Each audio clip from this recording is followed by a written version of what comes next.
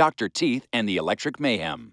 It must have been around 1979 when animals started snorting crushed up pieces of felt. Got pretty ugly. Me had big problem before me found God. He like threw me down and he said, I hope your puppeteer has big hands because I'm not using lube. Me no remember that, but me believe it happened.